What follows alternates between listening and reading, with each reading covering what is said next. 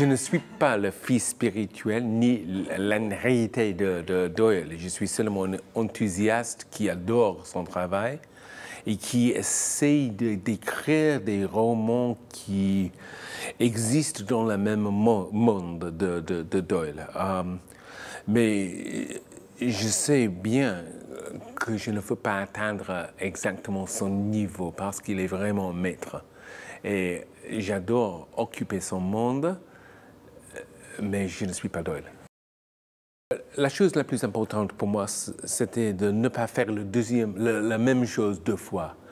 Après la maison de soi, qui était un, succès ici en France et aussi en Angleterre et, et, et d'autres marchés, la tentation était de faire la même chose encore une fois. Mais pour moi, ça n'est jamais une bonne idée.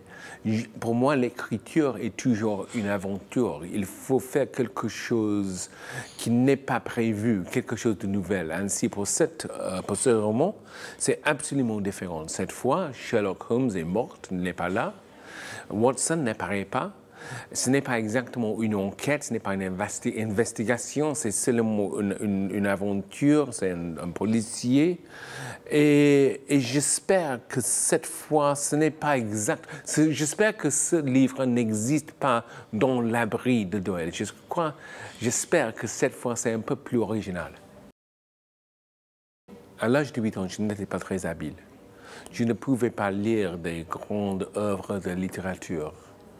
Euh, en effet, je n'ai pas aimé lire, pas beaucoup, parce que j'étais stupide euh, comme, petit garçon, ronde et, et lente. Et mes professeurs n'avaient aucun espoir pour moi. Ainsi, le premier livre que j'ai aimé, que j'ai adoré, c'était un, un BD, c'était Tintin par Hergé.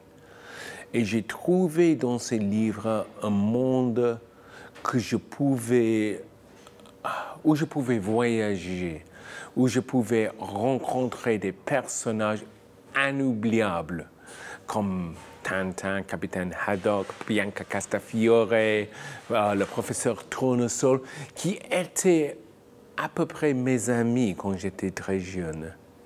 Ainsi, j'ai lu tous les, albums de Tintin pour commencer. lui aussi, il était écrivain.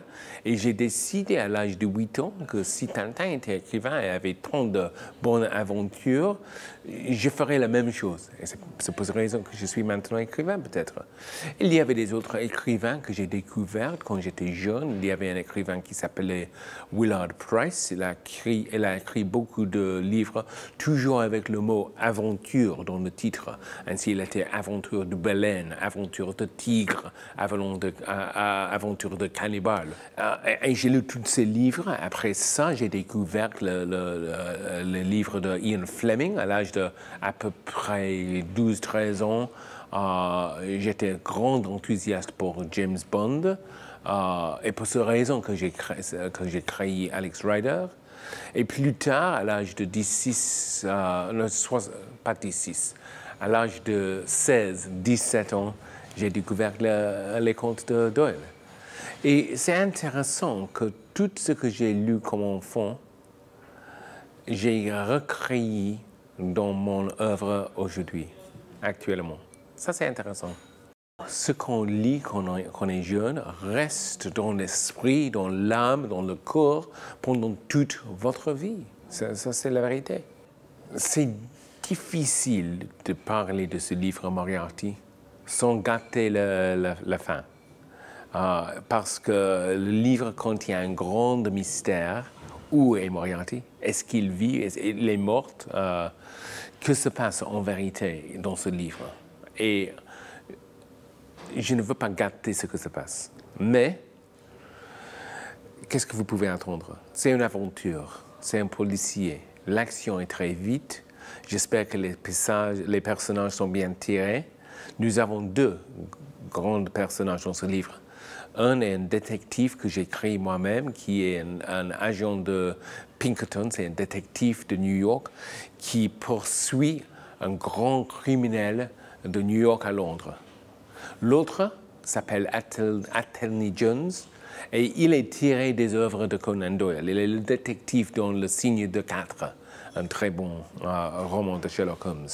Et ces deux hommes se rencontrent à, Reichenbach, le chute où Holmes a été tué et Moriarty a disparu, lui aussi peut-être mort.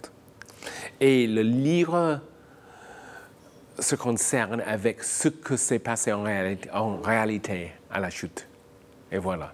C'est un grand mystère qui se situe dans les rues et le, le, monde souterrain de Londres dans le 19e siècle.